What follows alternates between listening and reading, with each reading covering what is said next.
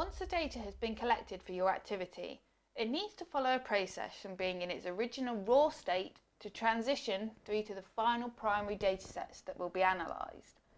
This video introduces the key stages in this transition process.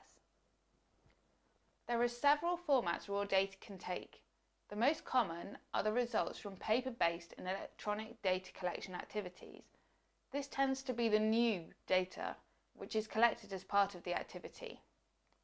Other data from external sources, such as climate data from a local weather station, or historical sources, such as baseline survey data, can also be used to create primary data for an activity. Once the data has been collected or gathered from other sources, it can enter the transition process from raw to primary data.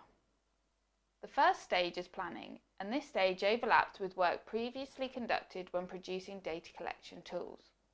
The planning stage involves thinking about how each piece of data is going to be handled and stored.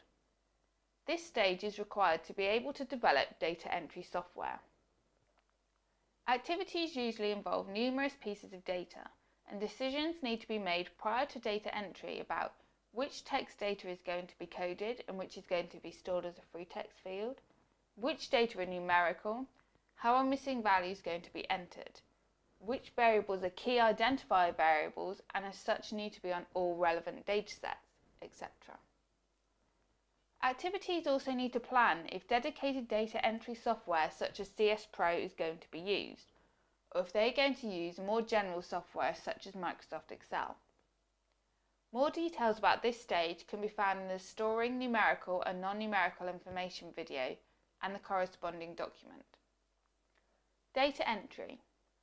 For paper-based data, this can be achieved using software of varying complexities and abilities.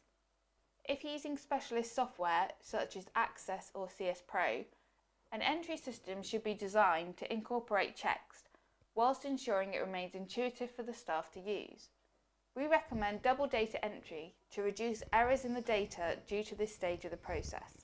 If using electronic data collection devices, the data collection and entry are combined into one step. Think ahead and provide spare parts or additional devices and regularly back up the data to avoid problems.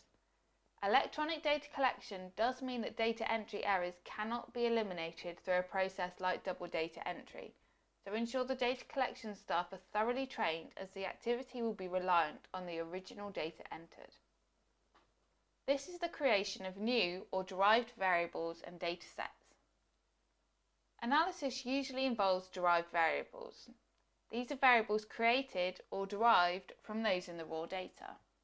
For example, the age of participants in groups rather than the raw exact ages, or yields in kilograms per hectare from the raw yield and plot size measurements.